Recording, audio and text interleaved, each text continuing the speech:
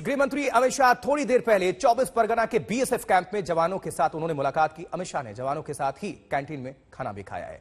वो तस्वीरें भी आप सभी तक हम अभी साझा कर रहे हैं। देखिए, दो तस्वीरें अभी आप देख पा रहे हैं, जहाँ कैंप में पहुँचे गृह मंत्री अमित शाह। और अपने बीच पाकर जवान हैं, उनके हौसले को आप समझ सकते हैं, वो सातवें आसमान पर। टीवी आर सिस्टम है, इसके द्वारा आठ टीवी, जवानी का मनोरंजन के लिए संचालित किया जाता है। बॉर्डर गार्डिंग फोर्स की कार्यक्रम में जाता हूँ और जवानों को मिलता हूँ।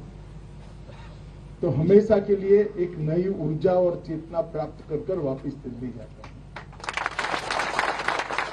क्योंकि आप लोगों का जज्बा जो कठिन से कठिन परिस्थिति में, चाहे राजस्थान और कच्छ का रेगिस्तान हो, कच्छ की क्रीक हो या आज मैंने देखा सुंदरवन जहाँ तीन नदियों का डेल्टा एरिया है, वहाँ मगरमच्छों के बीच घुसपैठ और तस्करी रोकने के लिए 24 घंटे की आपकी निगरानी हो। ये जो जज्बा और ये आपका जनून है, वो पूरे देश को सुरक्षित रखता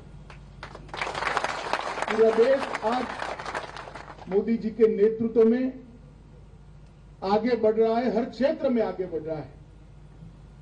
इसका महत्वपूर्ण कारण हमारी सीमाएँ सुरक्षित और मैं गर्व के साथ जहाँ जहाँ देश में जाता हूँ, वहाँ कहता हूँ कि देश के गृह मंत्री के नाते मैं चैन की नींद इसलिए सो पाता हूँ कि बीएसएफ का मेरा जवान बॉर्डर पर खड़ा हुआ चौबीस घंटे